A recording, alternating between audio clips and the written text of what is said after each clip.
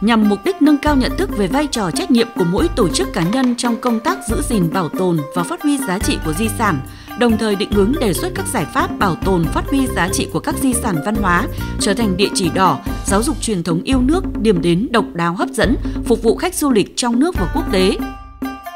Hội thảo khoa học nhận diện bảo tồn và phát huy giá trị di sản vùng đất Uông Bí trong định hướng phát triển bền vững thành phố Uông Bí sẽ được tổ chức vào 8 giờ sáng thứ Bảy, ngày 6 tháng 7 năm 2024 tại Trung tâm Tổ chức Hội nghị thành phố. Hội thảo do Ủy ban Nhân dân thành phố Uông Bí, Sở Văn hóa và Thể thao tỉnh Quảng Ninh, Hội đồng Di sản Văn hóa Quốc gia phối hợp tổ chức. Chương trình sẽ có sự góp mặt của các nhà khoa học chuyên gia đầu ngành của quốc gia, của tỉnh, các nhà nghiên cứu trong lĩnh vực văn hóa và quản lý di sản văn hóa.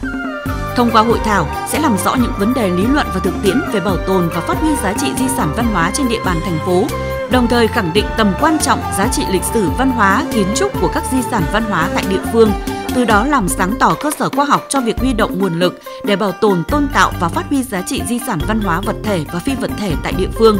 Đặc biệt là các di tích lịch sử văn hóa đã được xếp hạng, các lễ hội văn hóa truyền thống trên địa bàn, góp phần thực hiện thắng lợi mục tiêu nghị quyết Đại hội đại biểu Đảng bộ thành phố Uông Bí lần thứ 20, nhiệm kỳ 2020-2025 đã đề ra xây dựng Uông Bí thành trung tâm du lịch văn hóa tâm linh của cả nước